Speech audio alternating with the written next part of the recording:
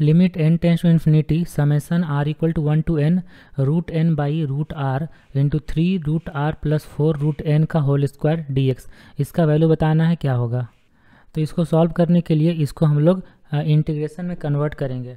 देखो, पहले लिखते हैं तो limit N tends to infinity summation R equal to one to N और रूट एन डिवाइड में, यहाँ ना डिवाइड में जो अंदर में ब्रैकेट के अंदर उससे रूट एन बाहर निकालते हैं तो बाहर तो एन आ जाएगा, क्योंकि होल स्क्वायर है ना तो आर हो एन होगा और यहाँ पे रूट आर हो गया, और यहाँ पे होगा three root R by root N plus four का होल स्क्वायर होगा इतना?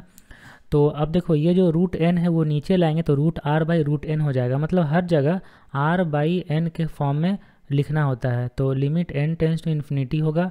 Summation of R equal to one to N होगा और वन बाई एन हो जाएगा और यहाँ पे होगा one by root R by root N और three into root R by root N plus four का होल स्क्वायर जब इसको हम लोग इंटीग्रेशन में कन्वर्ट करेंगे तो इंटीग्रेशन में कन्वर्ट करने के लिए क्या क्या कन्वर्जन होता है?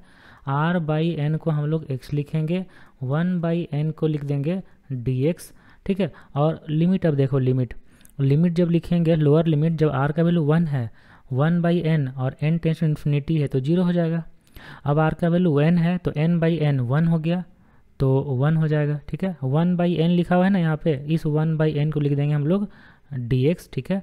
और यहाँ पे हो जाएगा one by R by N को लिखेंगे एक्स तो ये होगा रूट एक्स ठीक है?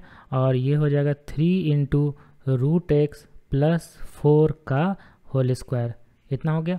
अब इसको हम लोग सॉल्व करेंगे, जिसके लिए हम लोग को सब्सटीट्यूशन करना पड़ेगा और यहाँ पे three root X plus four को टी मानना पड़ेगा। तो थ्री रूट एक्स का differentiation one by two root X और फोर का differentiation zero into D X equal to D T हो जाएगा। तो D X by root X equal to two by three D T है। है ना? क्योंकि यहाँ पे रूट एक्स डिवाइड में है।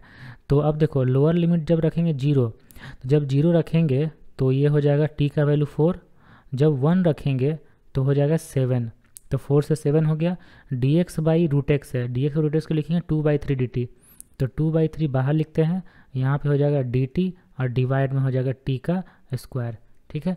तो d t by t square हो गया d t by t square का इंटीग्रेशन कितना होता है? Minus two by minus one by t होता है ना, क्योंकि टी के पावर माइनस टू जाएगा, minus two plus one, minus two plus one. तो माइनस वन बाई टी होगा। Minus one by t four से लेकर सेवन तक, ये होगा। तो टू बाई थ्री का टू बाई थ्री अगर हम लोग रखेंगे सेवन तो हो जाएगा माइनस वन बाई सेवन और प्लस वन बाई फोर। ठीक है? एलसीएम ले लो। तो जब एलसीएम लेंगे तो सेवेंटी, ट्वेंटी एट होगा। सेवन फोर जा ट्वेंटी एट, सेवन फोर तो माइनस फोर प्लस सेवन।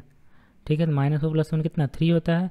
तो two by three into three by twenty eight ये थ्री थ्री कट गया और टू से ट्वेंटी एट कट जाएगा फोर्टीन टाइम्स में।